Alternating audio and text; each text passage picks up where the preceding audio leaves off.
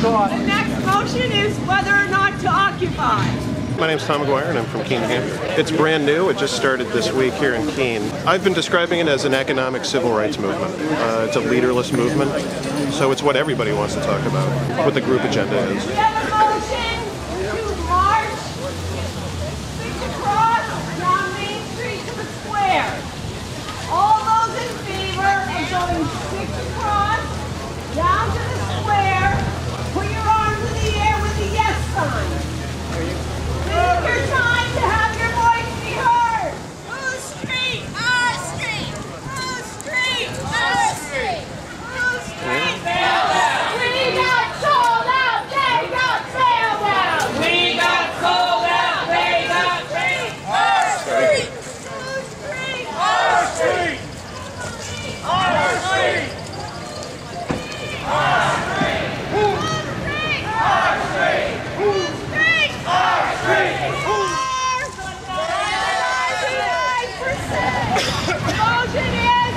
People feel free to move around this park and show their signs and protest.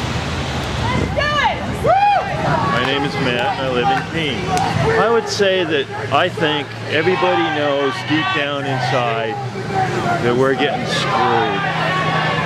And these people are probably the vanguard, the first wave of people who are waking up taking the action to say enough, no more.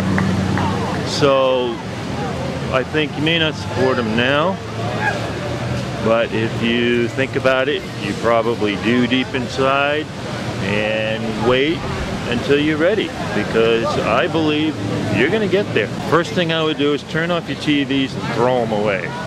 Second thing is get on the internet. Google's good, they censor some things, but just Google it. Google Occupy and then start from there. Start reading, start researching, learn, teach yourselves. Uh, Shauna, right now I'm from Keene. It's a lot more energetic than I thought it would be.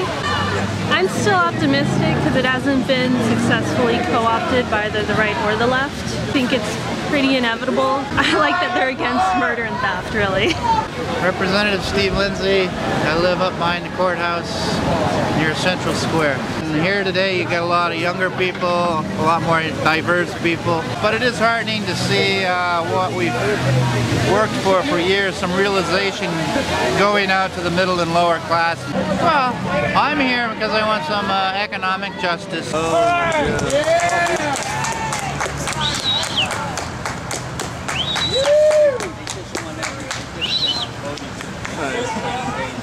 Basically, we're looking for reform in these systems. The Great Underground.